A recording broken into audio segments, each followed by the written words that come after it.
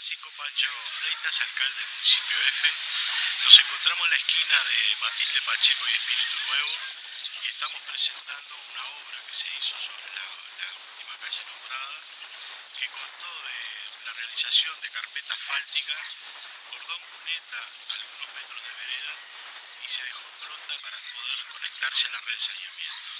Por otra parte, hicimos podas en la calle para hacer una actuación más complementaria y alumbrado mejoró un poco el alumbrado de la plaza que se encuentra en Espíritu Nuevo, Capital Tula. Eh, estamos en la zona de Piedras Blancas, es una, obra largamente añorada por los vecinos de la zona y bueno, y esperamos haber dado cumplimiento a la, a la necesidad del.